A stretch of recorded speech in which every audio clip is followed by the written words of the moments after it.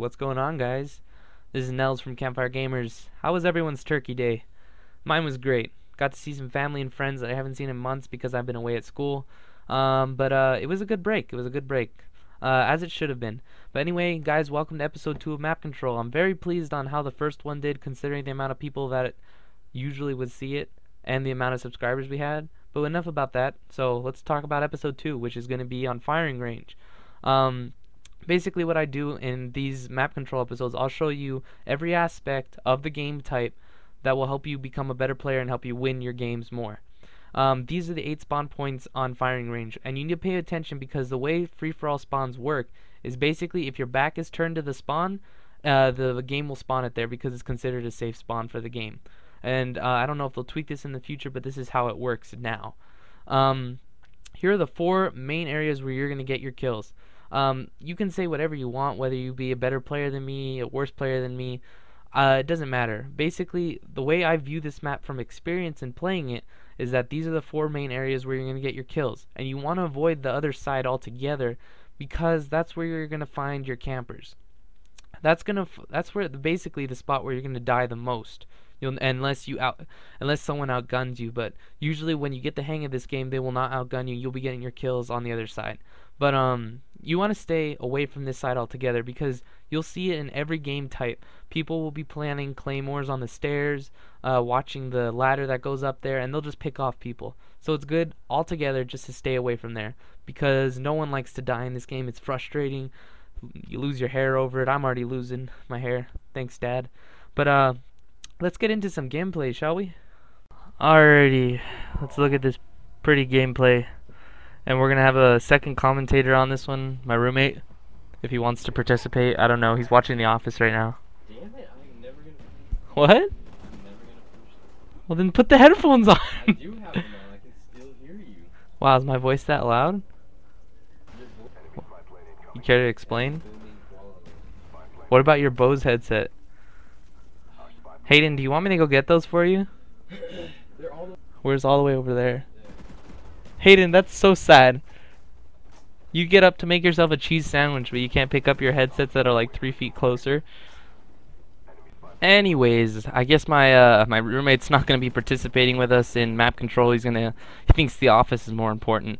Uh, but we'll leave it to him. Well, anyways, guys, uh, I'm Nels from Campfire Gamers. You can call me Nelly, whatever you whatever you feel like.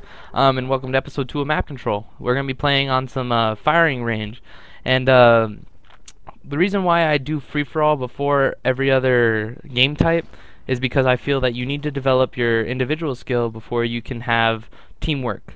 Um, you're basically your teamwork. I feel is useless unless you can defend yourself.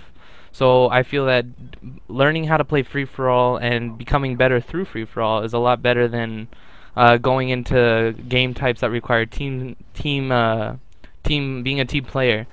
And so I basically we're gonna be using we're gonna be doing free for all first on all the maps before we go into other game types. Um, so here we're we're using AK-74U with rapid fire, and in case you haven't tried it out, I highly suggest you try rapid fire on a submachine gun. More specifically, the AK-74U because it is probably the closest thing to OP in this game. OP is overpowered. Um, and I, am not saying it's like drastically overpowered. I mean, it's it's just a really good gun. Um, but uh, it's it, I highly suggest you use it. Um, and then as for perks, I'm going to be using Hardline Pro, uh, Steady Aim, and uh, Hacker. I know I missed that Claymore earlier. That was my fault. I wasn't being too attentive. Um, but you know, it's alright. We're not going to let it happen again.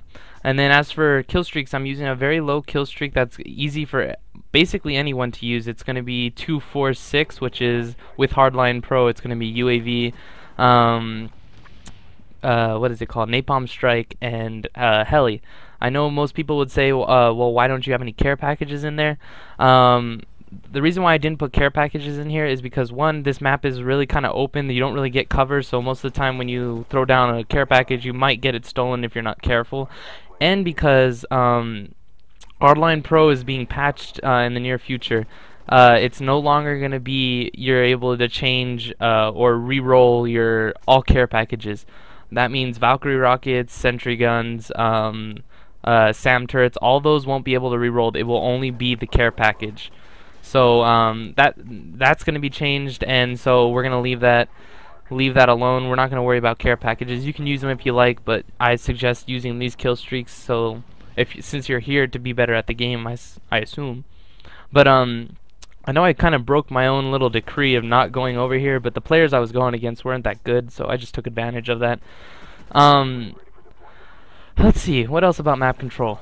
Uh, on this specific map, um, if you don't want to use the weapon class that I set that I give you, um, I mean, I'm not saying that that you have to use this. It's all about what weapons you're comfortable with. I just chose the weapon that's uh that's best for all players. Um, ooh, sit down. but anyways, um, you can use a weapon you're comfortable with, but make sure something that has uh, if you're gonna use something with a suppressor, make sure it has enough range um, and can be used in close range. Um, you'll notice that a lot of the a lot of the fighting or the kills that I get basically are going to be close range. Um, it's not really something at a distance. So um, if you're going to use an assault rifle, I recommend either the AUG or the or the FAMAS. Both are basically the same weapons. The recoil is just a little a little different um, and they have the the firing rate of a submachine gun, so that's always good. And then as for submachine guns, I think other ones you can use are probably the MPL. Um, what else can you use? Um, you can use the Spectre if you like it. Not many people like the Spectre, but it's a pretty decent gun. Um, you can also use the very last submachine gun, the classified one. I'm not don't remember the name that much, but uh, yeah. Ooh, sit down, sir. Damn, that guy got fucking raped. But uh, anyway, guys, that's the end for map control. Uh, look forward to episode three. If uh, if you guys like it, make sure to like this because you know I like it when you guys like it. But uh, I'll see you guys later, and hopefully another episode of map control will be up. Let's gather around the campfire and sing our campfire song yes, so